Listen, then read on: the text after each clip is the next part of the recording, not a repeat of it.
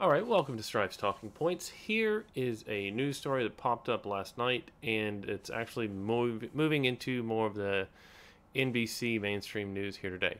Portland comedian Mohamed Elshieky says he was accosted by Border Patrol agents at Spokane bus station. Now, um, a comedian traveling home to Oregon from a gig was detained by immigration agents. I have, and his quote is, I have never felt as terrible as I did today, said a Twitter post after the incident by the 27 year old who was in the country legally. Oh my God, what happened? Um, so basically, let's see here. A 27 year old comedian traveling home from Oregon after a performance in Washington State was ordered off a Greyhound bus by immigration agents and detained, even though he was in the country legally. I've never felt so terrible. The episode also raised larger questions about what documents legal immigrants are expected to carry with them to prove their status. Now, um, here they're calling him legal immigrant. However, after reading through a lot of this, it does seem he is a asylum seeker. Um, he came to the U.S. on visa for exchange students in 2014. Later that year, as the civil war gripped his hometown of Benghazi, Libya, and threatened him personally, he applied for asylum. He said, so he's an asylum seeker slash student visa slash work person here. He's got a little bit of everything. Um, so he was returning home to Portland from a performance in Pullman, Washington on Sunday. He transferred to a Greyhound in Spokane, where two U.S. two officers of the U.S. Customs and Border Patrol boarded the bus and asked if he was an American citizen. Now, in some parts of this, you see it as ICE, some parts you see as Customs and Border Control. I do believe now the his quote is wrong, and this NBC quote coming out uh, a day or so later is also using Customs and Border Protection instead of immigration. Uh, when they questioned him, he said, I am a citizen of Libya. They said, okay, come with us. After removing him from the bus, officers asked for identification. He told them he had a driver's license from Oregon and a valid work authorization card and document issued by the Immigration Services for uh, refugees and other immigrants to show to employers. Uh, basically, they said that wasn't enough. Illegals get these all the time, uh, which is generally something you hear a lot about fake papers in the U.S. So, what all happened to this guy to make it one of the worst events in his life? Um, the officers made a phone call and provided details from the authorization card. Afterwards, one of them said there was no record of his asylum claim I said, What about the work permit? Is it valid or not? And he wouldn't answer. Um, so he threatened to call his lawyer, and one of the officers told him to remove his hands from his pockets. They're worried about him being armed, which is going on. Eventually, the officers returned his ID and work authorization. He added and told him to have his purpose, papers with him next time, which means nothing because what they did said was fake. Through the um, all this, let's see, it just keeps going on.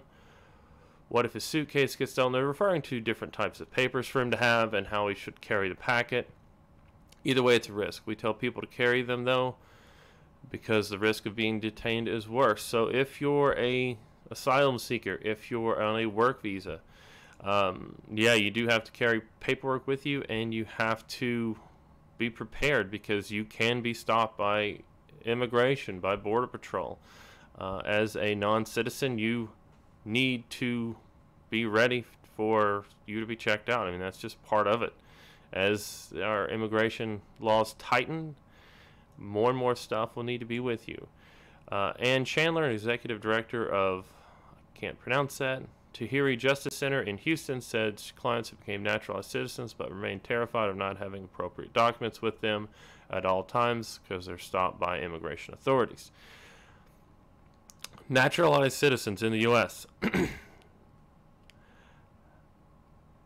do not have to carry a legal file with them. Once you're a naturalized citizen, you are a citizen of the U.S. and you could prove that.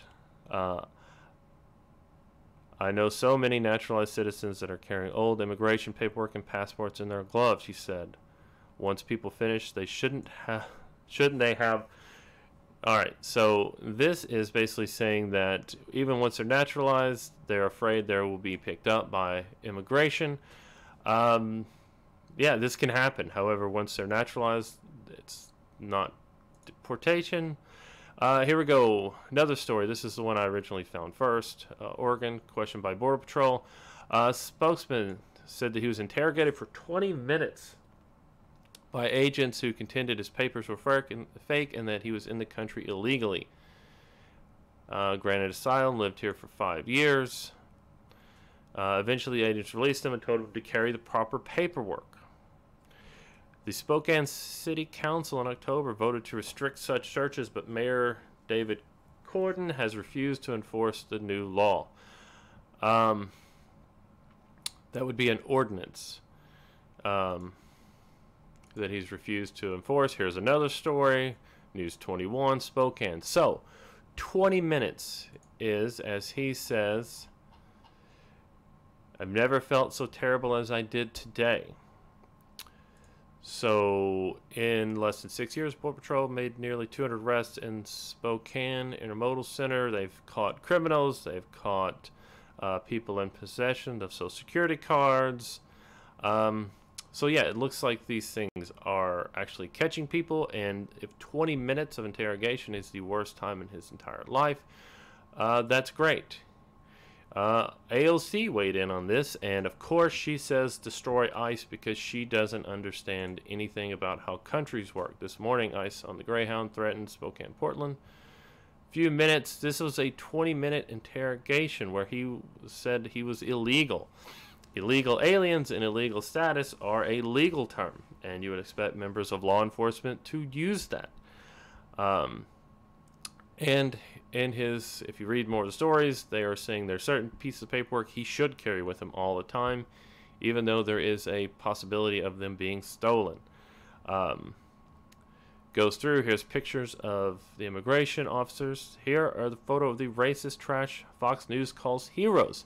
These are immigration officers doing their job, catching criminals, forcing people out of the country illegally, and Mohammed is uh, very much against uh, any type of control in the country, keeping people in or out, and securing the U.S. Here is the country he left, Libya. He is he was here on a student visa in 14 and didn't go back home after uh, airport bombings, murders.